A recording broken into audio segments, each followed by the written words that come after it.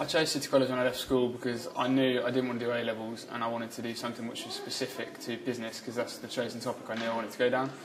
So I came here and did a BTEC in business and finance.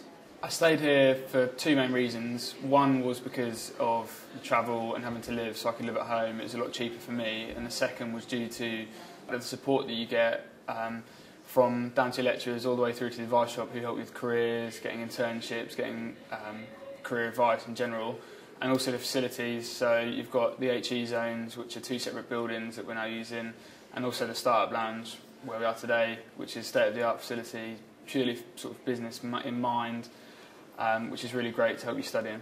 Um, my plans when I finish are hopefully to get a job in the business finance sector or hopefully a management role. When I first came to college five and a half years ago, I started studying a BTEC First Diploma in Public Services.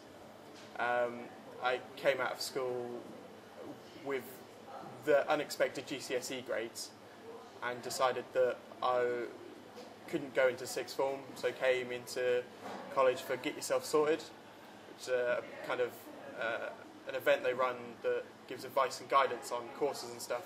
Liked that so much that I continued on to a national diploma. Um, enjoyed that even more. Uh, I got involved with like CSI things.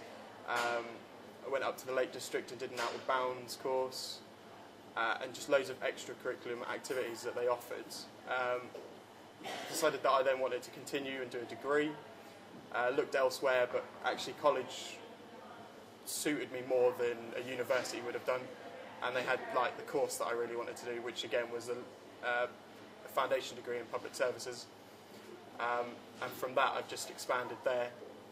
Um, now looking at for the future, um, where I'm going to be teaching, hopefully, um, either public services or get into the outdoors and teach outdoor adventure sort of style of things, outdoor education.